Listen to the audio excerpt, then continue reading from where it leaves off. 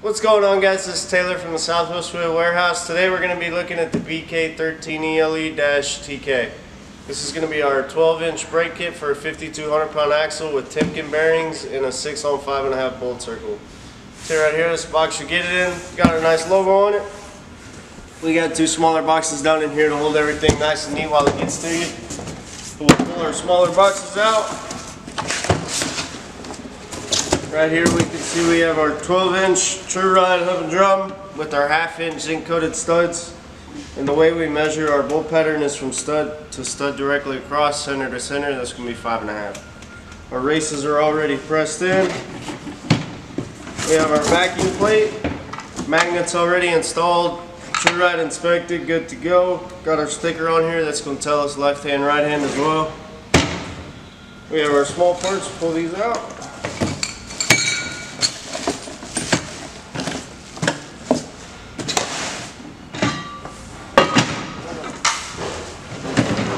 So with this kit, we're gonna get two and drums, a left hand and a right hand backing plate.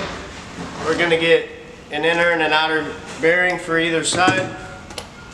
Our outer is gonna be the 15123. It's just gonna pop in right here. And our inner bearing is gonna be the 25580. And that's gonna be for right here. Then we're gonna get four seals. A two and a quarter seal, two are gonna be two and a quarter, two are gonna be two and an eighth. The two and a quarter one are for the older axles, the two and an eighth are for our newer axles. If you got an axle from us, it's gonna be the two and an eighth. And these seals, you're gonna pop your bearing in, and then you're gonna put your seal in right behind it, just like that. Then we have our castle nuts. We're gonna get two castle nuts and two cotter pins. Like to make sure you guys get everything you need.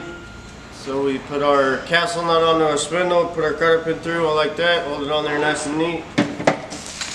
We're gonna have four grease caps.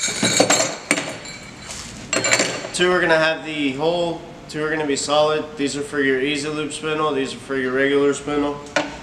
The E-Z Lube are going to come with the tang washer that replaces your cotter pin as well as the rubber plug for the end of it. The regular grease caps are going to come with the regular spindle washers. Then we have our mounting hardware. So we're going to get 10 nuts, 10 washers, and 10 studs. These studs will generally come in the back of the axle plate, but they fall out a lot. They just press in. You don't have to hit them in or anything. You just pop them in. So we send you the extra. These are going to pop through the plate on the axle and then through here. You to stick your washer on and your nut on behind it. Just like that, mount it up nice and neat. These are pretty simple system guys. You just mount them up on there, plug them in, good to go. Thanks for watching. That was the BK13ELE-TK.